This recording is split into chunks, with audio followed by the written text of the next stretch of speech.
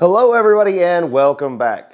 So I have something pretty cool to show you. Uh, it's definitely an achievement. So uh, let's go see that and uh, then I think we'll get into some time lapses. So coming into the bathroom, there is one feature that's quite obvious in the room, that's quite stark in comparison to all the other colors, and that is the sink. Uh, now yes, there is no bowl currently. Uh, I have to attach that, and uh, you'll see how I'm going to do that in some of the time lapses, and I'll discuss it. Um, and these are just sitting in here. Uh, they're not attached. However, I did think I fixed the uh, packing washer issue here, so I shouldn't have any leaks. Uh, I tested this one last night. It seemed to have worked but I won't really know until I have the supply lines, which is this right here, or one of them. Uh, this basically runs from the pipes down there up to the tap, makes the whole thing work. I guess you probably could get that. so uh, let's get in some time lapses. I'll show you how I got here and uh, we'll go from there.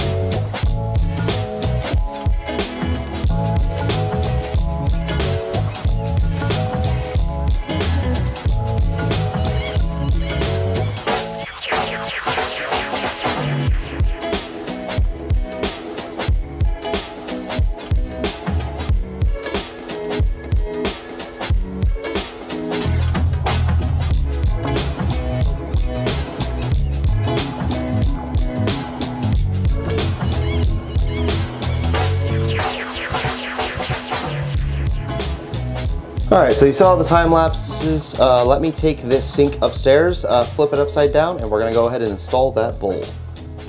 Okay, so the sink. We've got it back upstairs, um, and you can now see the underside a bit clearer. Uh, so these are where the original brackets were. They look like this. Um, I've cleaned these up a little tiny baby bit, but originally this only had four brackets, one in each corner. Um, and I guess that was sufficient to hold it. However, um, two of these failed. This one sheared off completely uh, some time ago, and this one completely pulled out of the marble. So I did some research, trying to figure out how people are mounting under-mounted sinks like this, and uh, this is a solution I came up with. Essentially, these are glued on with epoxy. Uh, you can see in the time lapse I actually roughly sanded this so it had a place to key into, uh, the glue did. So I used 60 grit sandpaper to prep these areas to make sure it had a good place to key to so these won't be going anywhere and I used more than the recommended amount because of course I want this thing to stay put. Uh, I am going to use the two mounting brackets uh, that are original um, to the sink um, as well because why not, they're there. Um, but essentially, here's how it works. You put the bowl down, you can see where I've marked out my line around. You put the bowl down, you put these little feet on it, that's the wrong way around a washer and a wing nut. And uh, there you go. Kim's coming in all sneakily, stealthily with the bowl, so. Want to see the sink on here? Or the bowl? Oh, hello. So, yeah, like so. Just drop these down, adjust them where you need them. Oh, that's an old one. My bad. There we go. A nut, a washer and a nut, and uh, you're good to go. But of course, before any of this happens, you have to seal the bowl to this. Uh, we're going to be using a silicone uh, caulk for that. Um, where yeah, we're not using the plumber's putty. I will use the plumber's putty on this, but this is like porcelain. Uh, although it is kind of cool because You want me to pick it up? yeah, Kim, that'll be easier. I can do it with one hand, but I don't want to. um, it has uh, some like faint marbling in here, which is kind of cool. It's obviously faux. This isn't marble or alabaster or anything like that. It's porcelain. Um, but yeah, there's our new drain. So pretty. Yeah. Uh-oh. Water's gonna hang out here. It won't be too bad. Okay. So uh, that's what we got going on.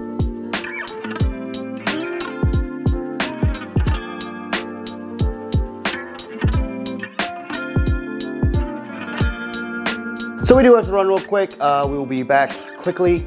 Uh, we do have to run to one of our favorite little salvage places around town uh, to find some trim for the bathroom because what they were using as trim in that bathroom is actually the top cap that goes around the wainscoting in the bathroom. So we have to go get that really quickly or find something that's appropriate. We don't need very much, luckily, or else we'd have the original stuff cut again. Um, but when you only need 10 feet of it, it seems like a bit of cost unnecessarily. So we're gonna run do that and then uh, you guys will see a time lapse of the sink being put together and hopefully completely installed. We might even have running water. Oh, please let us have running water. So uh, we'll see you guys then.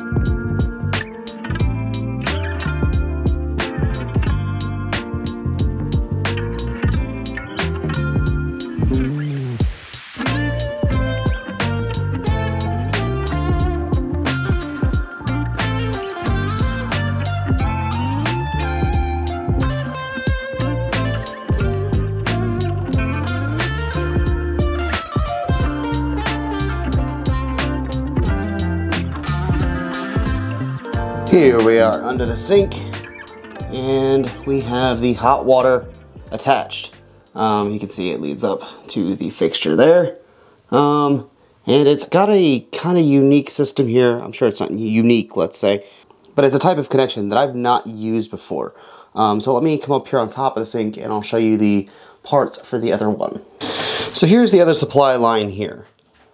As you can see, it's it's actually a solid brass tube. Um, of course, it's a bit flexible, which is nice because when you have to move around down there because things aren't perfectly straight, you need them to be able to be flexy, and I'm sure it's designed that way. Um, and here is the shutoff valve for the cold water. You can see the little C on it. But this has been a bit of a pain, and let me explain why. This uh, nut that I have on here at the end, I actually had to go to Lowe's and buy. This didn't come with this. Um, what I found initially was this, which is a compression nut.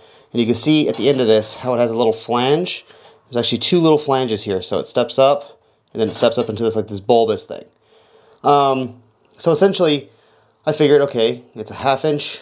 The fixtures are half inch at the bottom. So it'll be a half inch fitter, compression cap, and you'll compress that bulb up into the bottom of the faucet. Um, however, for some reason, um, not all half inches are created equal. Um, in fact, I don't exactly know which one is perfectly half inch. Uh, maybe neither of them. But these are both half inch and the thread pattern is the same. But this one's bigger and this one's smaller. Both half inch. I don't understand. You go to Lowe's uh, or to any big box store, I guess, in the US, and for some reason, there are three different sizes, all of them referred to as half inch. Like, how amazingly confusing is that? And of course, all of the compression nuts are only um, this half inch, which doesn't work. Um, however, this one, I don't even know what this fitting is called. Uh, I forget, I have it on the packaging over there. But essentially, there was too much wiggle room in this. It's not compressing this all the way, like that one would if it would fit. So what I've done here is I've taken these O-rings and I've pushed them all the way up here, and then I run my nut and pull them all the way through. Um, and then on top of that, I place one last little O-ring on top, and then screw the whole thing together. Um, I'm hoping that gives me two separate gaskets to not let any moisture through. Uh, now I would love to test that since I already have this one hooked up, but since I don't have a hot water heater yet, um, the hot water line won't work. So even though that's hooked up on everything, the lines are dry. Whereas this one, when I do hook it up, it's cold water. It's the cold water tap. So it should um, have water coming through it. So this should be the tap I use um, right now. But we'll see if this little fix I found uh, works. Mm, it'll be an interesting one. So uh, let me get the time-lapse camera set back up and uh, we'll go ahead and install this and hopefully um, I won't get wet. So uh, fingers crossed, let's do this. Also want to show you guys uh, something that uh, came in the mail. Uh, my tile. It's here and it's absolutely gorgeous.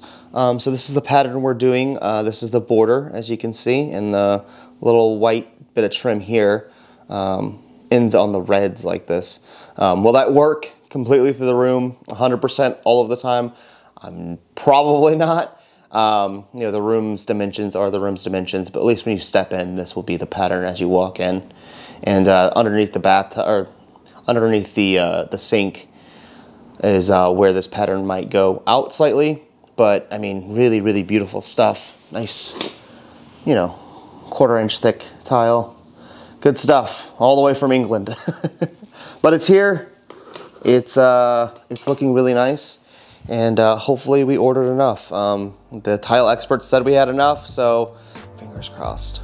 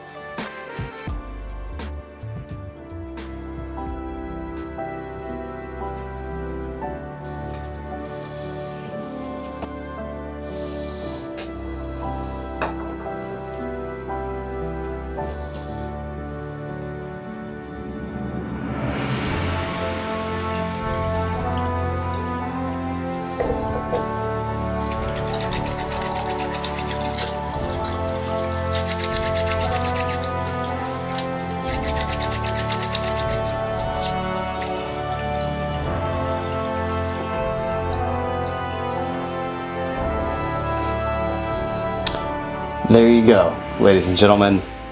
You just witnessed the very first hand washing I've accomplished with a sink in this house. Yes, I've used buckets. Yes, I've used my water hose and spigot. And yes, we've had water in the house for a while. But that was the first time doing it in a sink. And ooh, it feels good. Oh, oh, oh, it feels good. Um, okay, it was about the third time hand washing. I couldn't control myself and I had to get in there and test it out. Um, and yes, we have a few problems with the sink still. Uh, one of them being that the uh, hot water tap does not work. Uh, mostly because I haven't had a hot water heater installed, so this line is dead. Um, but that's alright, we'll get to that at some point. And then you can see we've got a wee little drip here. Um, I've found a way mostly to fix the packings that are in here. Basically, I just tighten them up really tight. There was some elasticity uh, in these left, the rubber O-rings that I showed you guys last week. Uh, the bushings, the packing washers, that's the correct term.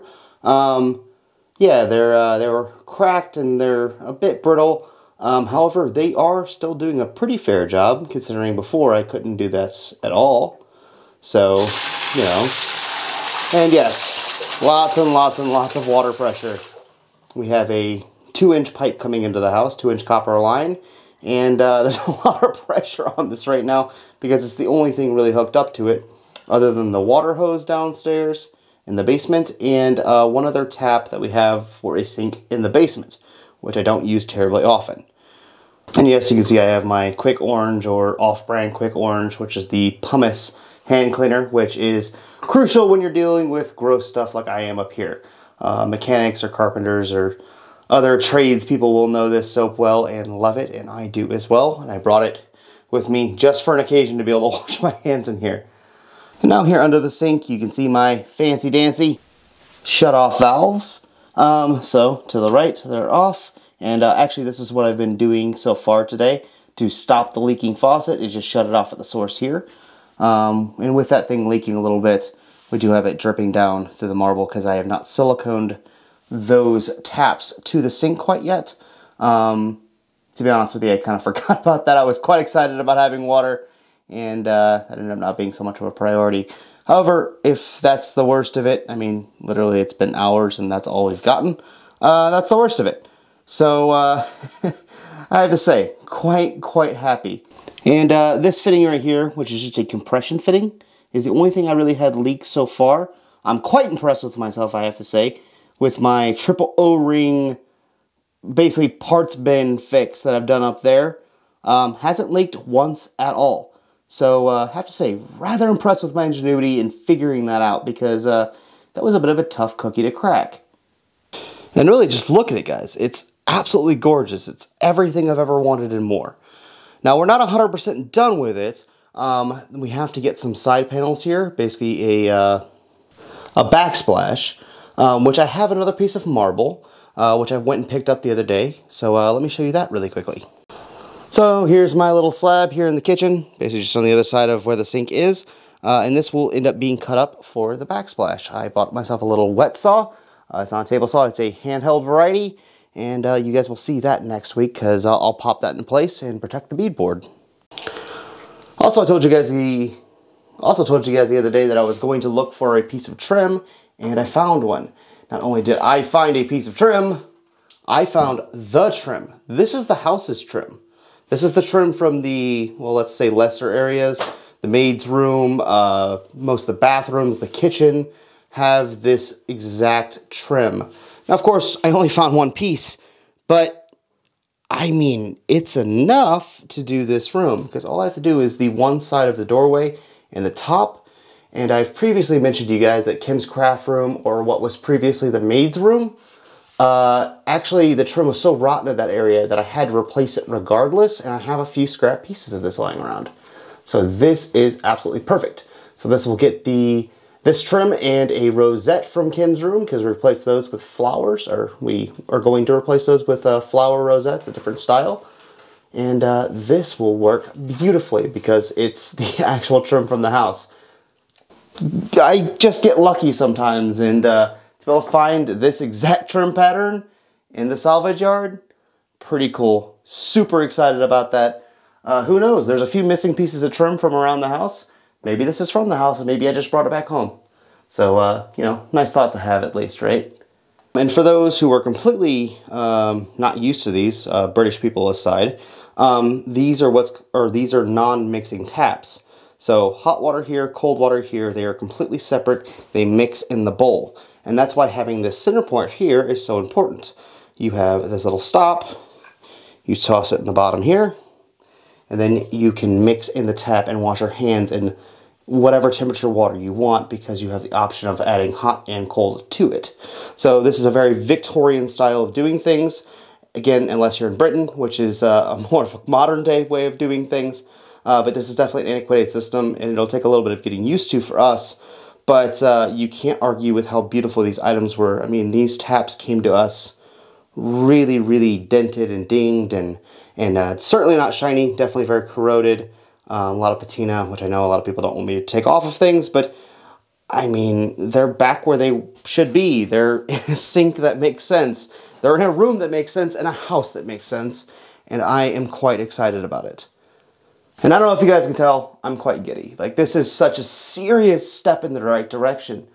I mean, having water, I guess so many people overlook that fact, right? Like, it's not something you think about in every day. You just turn on the tap and it just happens to be there. But when you don't have it in a place for so long, or you have it in such weird ways, like a water hose, you know, a simple thing like washing your hands or uh, since I have a little kitchen here set up now, um, you know, just washing a simple dish or a fork becomes something you do with a baby wipe. And it's not terribly exciting to do it that way. It's not, you know, nice. It's not the way, I guess, we expect to live these days. And so having a functional sink, I don't know, it's it's really cool. And like kind of seeing this whole room to come together is awesome. I really love it. Like it's gonna be the first room in the house completed. And it was one of the nastiest, grossest rooms. Uh, I mean, for those of you who followed the whole way, we had to rip the entire floor out of this place. There's some new floor in here. All the walls had to be replastered. There's all these weird angles that were real difficult. I spent weeks doing this stencil pattern here, which still isn't 100%. I just stripped all the nastiest paint off these windows up here. All that linseed oil paint and all the faux graining that was just messed up beyond belief so it wasn't usable. And now we're getting really close. I mean, next week it's going to be beadboard. We're going to have electrical. I got the tiles in, so on the 8th, 9th, 10th, somewhere around then, we're going to have those installed. The toilets, all that's really missing is the a new spud in the back, and the tank is all new, and it's just installing it. We're so close to having a completed room, and it just feels amazing. Um, yeah, I really can't, I'm glowing. I'm like so excited about this because I mean, it's just a step in the right direction. And I think once you have one of these smaller rooms, these smaller accomplishments done, it, it really drives you to do that next bit. It, it pushes you. It, it's that moment where, okay, this area is messed up, this area is messed up, but I can walk into this one room and see the vision and really, really just feel it and, and, and enjoy my house. Ah, I just am so excited. It's been a, such an amazing week. It's not been a, an easy week by any means. It's been a lot of trial and error and a lot of creative problem solving, which I think are areas I thrive in, and I've had a great deal of fun doing this. Man, this was a good one. So, next week, hopefully, we'll get ourselves a door frame in, get some electrical, get the sconces I've promised for a while but up, get the top cap around the whole beadboard wainscoting up, I, mean, there's a lot of things I want to do. Uh, we'll see how much I get of it done next week, but it's been an absolute blast. So I hope you guys enjoyed. I'm gonna leave you guys with a quick little time lapse of me putting together the toilet seat upstairs, which has finally gotten its few coats of Waterlox. It is ready to be installed. So uh, enjoy that. I'll see you guys next time. Have a wonderful, wonderful rest of your week, and I'll catch you guys next Monday, or maybe midweek, who knows? We never know in the world out here.